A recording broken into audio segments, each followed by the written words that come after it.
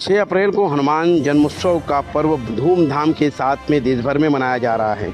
वहीं हम आपको तस्वीर दिखा रहे हैं भिवंडी के औरहल देवी माता मंदिर के पास की, जहाँ संकट मोचन हनुमान मंदिर में। आपको बता दें कि इकतालीस भक्तों ने लगभग अपने उपास को पूरा किया और इस बीच आज महाभंडारे का आयोजन किया गया था। यहाँ आपको बता दें कि इस महाभंडारे में विशेष तौर पर भिवंडी पश्चिम के विधायक महेश चौगले, उनके साथ में भाजपा युवा मोर्चा के अध्यक्ष राजू चौगले, साथ ही साथ समाज सेवक रवि पाटिल, राजेश शेट्टी, उनके साथ में शिवसेना उद्धव ठाकरे गट के भिवंडी शहर अध्यक्ष प्रसाद पाटिल भी मौजूद थे। सभी का स्वागत इस मंदिर ट्रस्ट के संयोजक हनुमान भक्त थे। उन सभी लोगों ने फूलों की माला और आप देख सकते हैं कि नारियल देकर उनका स्वागत किया।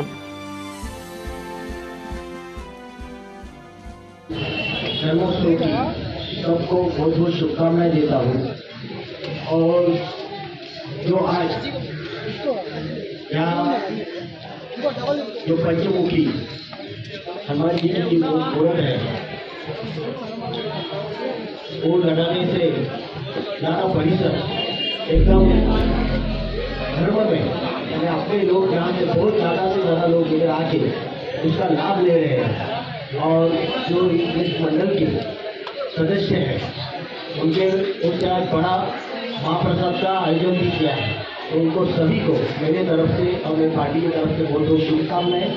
क्योंकि जो धर्म का नाम रहता है अलग अलग तरीके से रहता है। इसमें भी एक ही एक धर्म का काम है, धर्म के माध्यम से युवा पीढ़ी को मालूम पड़ना बनता है, अपना धर्म कैसा है, क्या करना चाहिए, क्या नहीं करना चाहिए। तो ये ही काम आपके सभी के माध्यम से हो रहा है, वो भी एक धर्म का काम है, और अच्छा काम हो रहा है, जिसके लिए आप सभी का बहुत बहुत शुक्रिया, बहुत बहुत धन्यवाद। जय हिंद, जय भारत। पहले तो जय गणेश, जय माता दी। आज हनुमान उत्सव है एक्चुअली आज हनुमान उत्सव जो मना रहे सभी भिवंडी वासियों को बहुत बहुत बधाई इसके लिए। और यहाँ पे आज फोर्टी वन डे से जो भी भक्तगण यहाँ पे जो उपवास पकड़ा हो, मैं हनुमान जी से यही प्रार्थना करूँगा कि उनकी जो भी मनोकामनाएँ पूर्ण करे, वो अपना घर बार छोड़ के यहाँ पे उपवास रखे। उनके मन में जो भी इच्छा है, मैं हनुमान जी से प्रार्थना करूँगा वरल माता से प्रार्थना करूँ उनका पूरा इच्छा पूरा करे।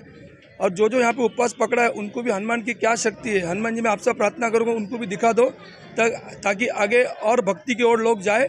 और आज कुछ चालीस थे तो कल दो दो सौ उनको लगना चाहिए हनुमान का माला डालने का ऐसा ही कोई कारण नहीं है। इसमें बहुत बड़ी ताकत है।